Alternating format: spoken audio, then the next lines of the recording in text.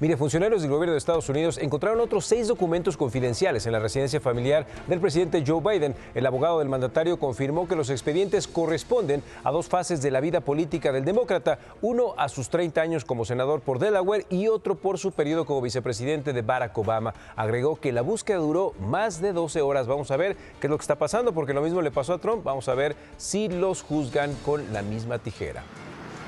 Nos vamos a Latinoamérica porque la Fiscalía de Colombia detuvo a Margaret Chacón Zúñiga como sospechosa de planear, financiar y definir la logística del asesinato del fiscal paraguayo antimafia Marcelo Pexi. ¿Se acuerda usted? Cometido en mayo del 2022. La mujer de 42 años fue detenida tras su llegada desde El Salvador, de donde fue expulsada. Con ella suman siete los detenidos por este atentado.